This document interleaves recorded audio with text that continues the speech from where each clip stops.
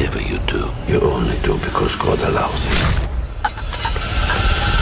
Did he allow that?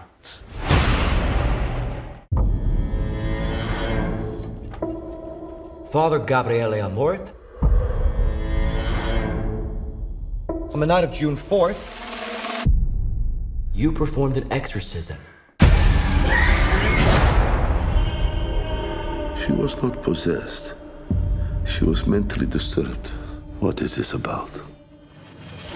We have more questions for you, Father Amort. You have a problem with me? You talk to my boss.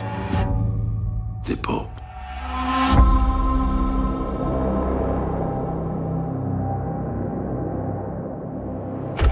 There is a case that needs your attention.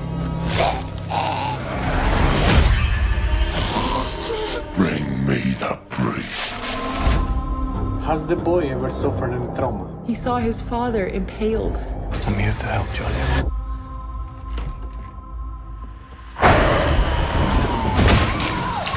Wrong priest!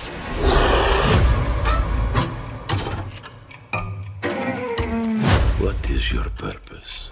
You, I am your nightmare. My nightmare is France winning the World Cup. You can't hide behind your jokes forever. Amy, it's Dad. Daddy? You're all gonna die. Is the Vatican sealed? The Church has fought against this demon before. The Vatican covered it up. You've been played. You talk the bait. Whatever you do, you only do because God allows it.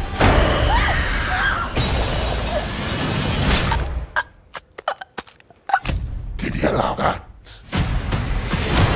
Imagine what could happen if the devil possessed the soul of the Pope's exorcist. Who will defend you?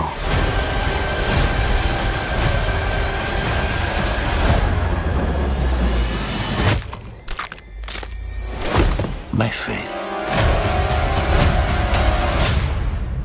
not require a defense.